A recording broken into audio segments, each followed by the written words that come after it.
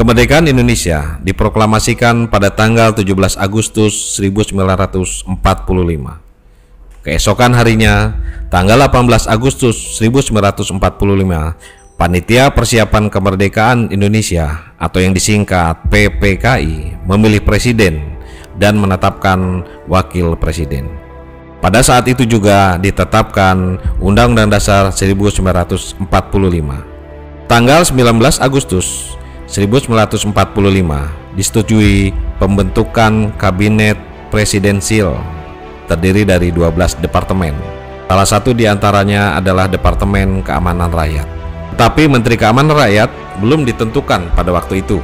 Dalam sidang pada tanggal 19 Agustus 1945, PPKI memutuskan untuk membentuk tentara kebangsaan.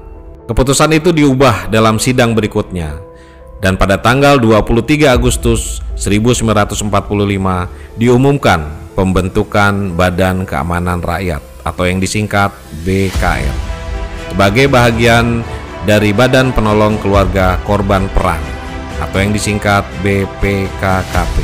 Pemuda-pemuda bekas anggota Tentara Pembela Tanah Air atau PETA dan HEIHO dan lain-lain banyak yang mendaftarkan diri menjadi anggota BKR. Tetapi tidak semua pemuda menyetujui pembentukan itu. Mereka menghendaki agar dibentuk sebuah tentara nasional. Golongan yang tidak setuju itu kemudian membentuk badan-badan perjuangan. Umumnya mereka adalah pemuda-pemuda yang sudah tergabung dalam organisasi-organisasi bawah tanah pada masa pendudukan Jepang atau yang berafiliasi kepada aliran politik atau agama tertentu.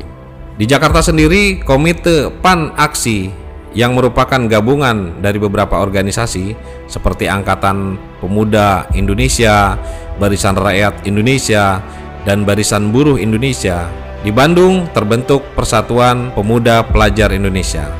Di Jawa Tengah, Angkatan Muda Indonesia, dan di Jawa Timur, Angkatan Muda Surabaya.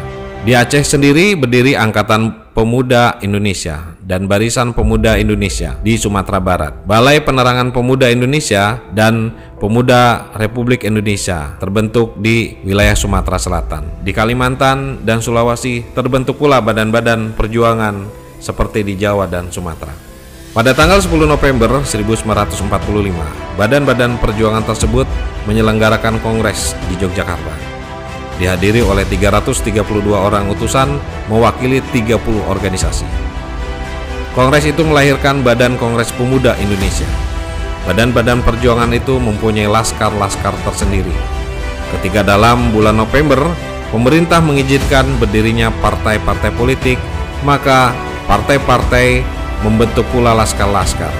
Pada waktu itu, sebenarnya sudah ada tentara keamanan rakyat, tetapi tidak semua badan-badan perjuangan bersedia melebur diri ke dalam TKR.